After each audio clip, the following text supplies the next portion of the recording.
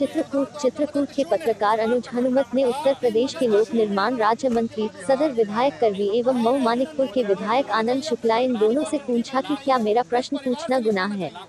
चित्रकूट में दो गरीब ब्राह्मण परिवार ज़िंदगी और मौत से लड़ रहे हैं, इसलिए मैंने आप दोनों से प्रश्न पूछा तो आप दोनों मुझ पर आग बबूला हो गए। आखिर क्यों प्रश्न से मुँह मोड़ लिया दोनों ने? एक वर्ष से दोनों परिवार सरकारी सुविधाओं की राह देख रहे हैं, लेकिन जिम्मेदार मदद करने के बजाय आज मुझ पे ही आक्रोशित हो गए। देखिए कैसे एक पत्रकार को घेर कर उसकी आवाज़ दबाने की कोशिश की गई। चित्रकूट के इतिहास में लोकतंत्र के लिए काला दिन। दोनों ने बहाना बना दिया, बोले, हमें मामले का संज्ञान नहीं, लेकिन जानबूझकर समस्या से आँखें क्यों मूंद रहे दोनों ब्राह्मण नेता? नेशनल हेड कमल दास बापू की रिपोर्ट चित्रकूट से।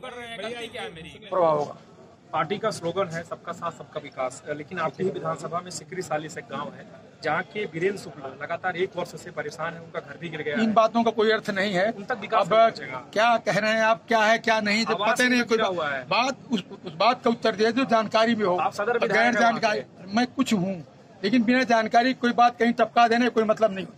ऐसे सवाल न। पूछिए आप अलग से कभी हमसे कहे? कभी नहीं कहने कभी कहेंगे अब यहाँ एक छो- सा गुफा छोड़ दीजिए। क्षमा करना बहुत छोटे कहीं नहीं चल रहा। चलाइए अभी कुछ चलाने हैं आपको। आपको जो चलाना हो। जो चलाना हो चलाइए। कोई चलाना हो चलाइए। मैं उसके लिए मना तो करता नहीं लेकिन इस प्रकार के सगुफेबाजी मत करिए। नहीं नहीं मैं गुस्सा नहीं हो रहा हूँ। मैं जानता हूँ आप लोग की आदत। ना कुछ ना कुछ छोड़ दे। आप आपको